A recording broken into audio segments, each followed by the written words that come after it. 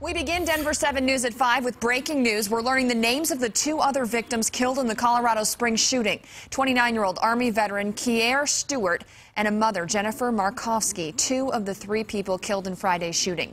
Denver 7 reporter Kyle Horan's in Colorado Springs right now. And Kyle, we're learning more about these victims, and a major road in that area just reopened. Exactly. Within the past hour, this road reopened. This is Centennial Boulevard. You can see traffic flowing through here. This has been closed since that shooting on Friday. They're still investigating over in the parking lot of Planned Parenthood, but they have reopened this road and are allowing some traffic through this side road right now. You can see that police officers stopping this car. However, we're learning more about those two victims. Police confirm Kier Stewart joined the Army in 2004 and did a tour in Iraq. A friend says he was a stand-up guy.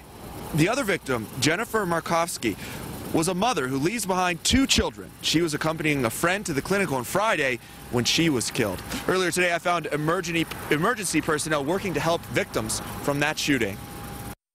Even as flowers and well wishes still show up at Planned Parenthood. Please, if you've been impacted by this incident, do not isolate yourself. Healing can begin in the form of counseling. We're prepared for as many people as we receive. At this expo center in Colorado Springs. Th these are the kinds of things that we do uh, every day. Our unit is deployed as an acute crisis uh, unit. The feelings after a crisis are taken on by these people.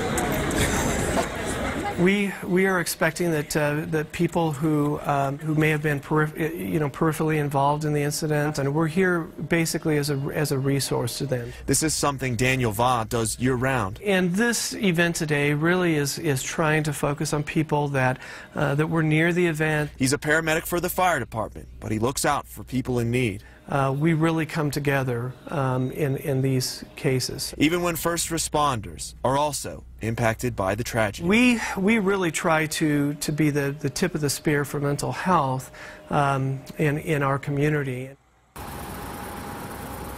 That crisis center is on North Nevada Avenue here in Colorado Springs. It will be open daily to the public until this Thursday. Reporting live, Kyle Horan, Denver 7.